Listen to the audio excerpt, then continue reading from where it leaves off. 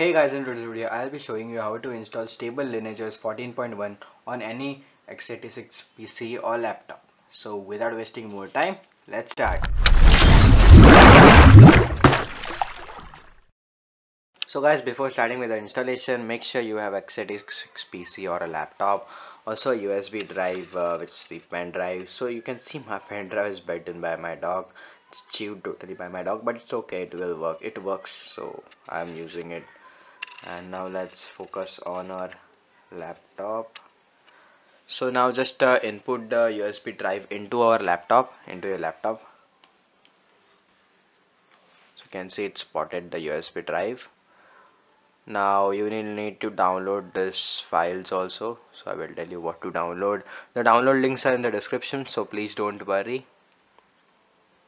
So this is my folder and you can see the CM uh, x86 14.1 and here is the Rufus which will help you in uh, installing the Lineage OS 14.1 on your PC or laptop. So guys now just open the Rufus and just allow the permission.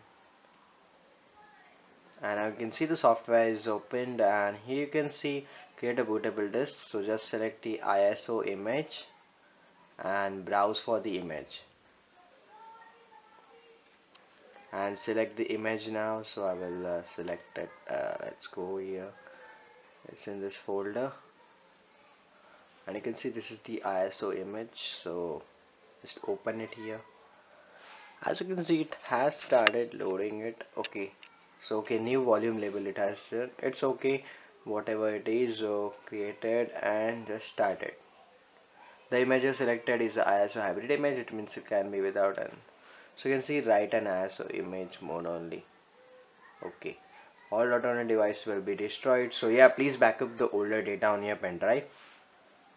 Now it will start and it will take some time uh, depending on your pen drive. So if it is 8 GB it will just quickly and 16 GB so let's wait till this uh, process ends. So guys it's done. It's ready. Uh, I just uh, clicked on start uh, because of this it got disabled now it's ready. We'll just need to turn off our computer or PC laptop what uh, sorry PC or laptop whatever you have. Just need to turn on turn it off.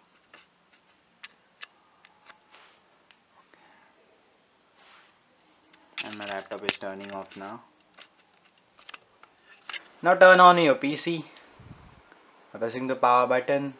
And when the boot logo appears of your PC just press the F12 button. And there may be different uh, options of your related PC uh, to boot into this boot menu. So now select this SanDisk Cruzer Blade or any your pen drive name it will be displayed. So yeah nothing about it just it will be displayed. And now you can see this screen so please uh, press the first option only. Don't go for any other options or you will get stuck at the installation. Now it can say uh, here you can see it's saying that detecting Android x86 and now it started uh, the installation so I'll just done and you can see the Lineage OS boot animation uh, flashing on your PC or your laptop now I will just uh, skip this part until the setup. So finally my PC has been booted into Lineage OS and it took really uh, less time though. Check the language. Now you can see setup as fresh start and you can connect to a Wi-Fi. I will just quickly connect to my Wi-Fi here. So now you can see Wi-Fi is working. You see the Wi-Fi symbol and there's the battery symbol too. And you can also set up your Google account here. So I will just quickly do it. So I've just signed into my Gmail account too let's see what next steps they choose so yeah it says getting account info and all things so it's just a setup and we'll just clear it quickly put google to work continue yes i'm in we just need to skip this all set and now it will just do it. So you can see enable privacy guard so all lineage os features are there because it is pure and you can see we have the lineage os and you can see they have uh, like home you can select taskbar or trebuchet but i will choose trebuchet always. And this is the home screen of lineage os let me just uh, reduce the brightness uh, okay now it looks good. Now let's go into the drawer. Now you can just scroll your touchpad and let's go into about tablet. You can see Dell Vostro 3558 my device model you can see Android 7.1.2 finally Nougat on any PC yeah that's great really. You can see all of the apps are there. You can see the taskbar terminal emulator. You can see many apps. You see the Lineage OS apps let's move to settings and you can see um, there is no customization. At Lineage OS you can see the status bar. You can choose quick pull down. Uh, it's showing corrupted SanDisk, uh, SanDisk USB drive. So yeah it will show like this but don't worry you can just install anything. And here you can see the quick panel the notification panels you can customize. And there are a lot of more options you can add to your quick panel. There is also the Android Easter egg so you can uh, collect some cats here. Okay so I just click down below in the settings. Again go into settings. You can see privacy guard is also here. The privacy guard is also here. And uh, let's see buttons.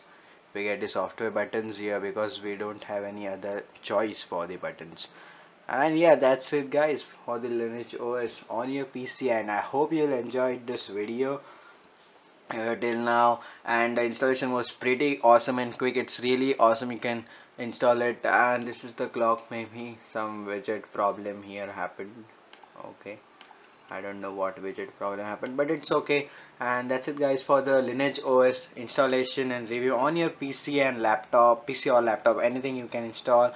So guys that's it for the video. If you really like this video press the like button. If not press the dislike button. Also subscribe for more videos and I'll see you guys in the Next one. Bye bye.